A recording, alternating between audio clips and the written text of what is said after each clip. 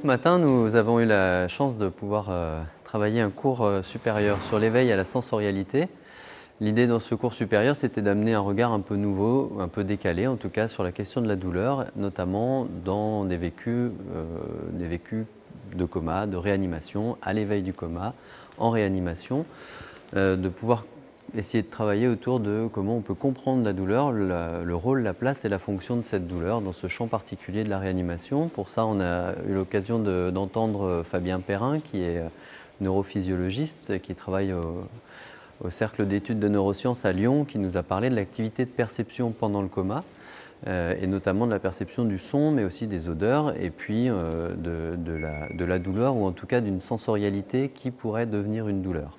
J'ai ensuite eu euh, l'occasion de, parler de mes recherches sur l'articulation entre la douleur euh, à l'éveil, la douleur aiguë et la douleur à l'éveil de coma, avec cette idée que la douleur aurait une place et une fonction pendant le réveil de coma du patient, avec bien évidemment euh, un encadrement très sérieux du côté des, thérapeutiques médicamenteuses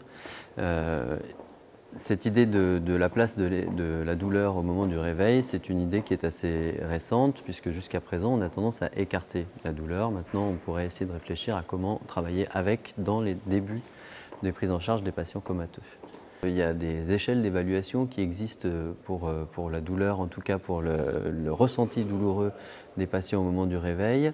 euh, notamment l'échelle de Payen, mais d'autres ont travaillé sur, sur, cette sensorialité douloureuse. Nous, on va plutôt travailler non pas sur l'évaluation de la douleur, mais sur la compréhension de cette douleur,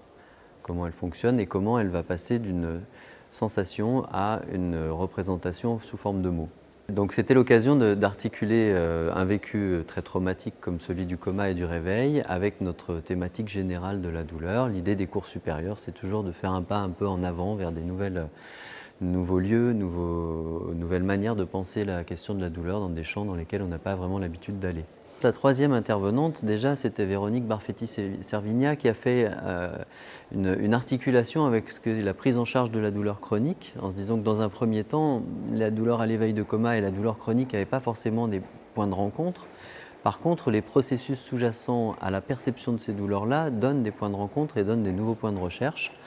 Et effectivement, les discussions du, public allaient dans ce sens-là, d'essayer de, discriminer ces douleurs, de pouvoir les comprendre au regard de l'histoire de vie du sujet, la façon dont le sujet va se réapproprier ces événements douloureux en fonction du lieu dans lequel ils se sont produits. Dans ce champ-là, en fait, on s'aperçoit qu'il y a encore beaucoup de travaux à faire, puisque en discutant avec les anesthésistes, avec des praticiens hospitaliers de réanimation, on s'aperçoit qu'il y a bien évidemment, il n'y a pas un coma, mais des comas, il n'y a pas une réanimation, mais des réanimations. Donc il n'y aurait pas une modalité d'éveil ou une modalité d'endormissement, mais des modalités d'éveil et des modalités d'endormissement en fonction du traumatisme vécu et puis de l'histoire de vie de chacun. Et ça fait partie des, nouvelles perspectives de recherche dans ce champ euh, spécifique, mais qui vient aussi s'appuyer sur les recherches déjà faites en douleur chronique, puisqu'on travaille beaucoup avec l'histoire de vie du patient et la manière dont la douleur vient dire quelque chose de l'histoire de vie des patients ou transformer quelque chose de leur histoire de vie. Et on, voit là des articulations entre la douleur chronique et la douleur aiguë, en tout cas une manière de travailler ces articulations-là.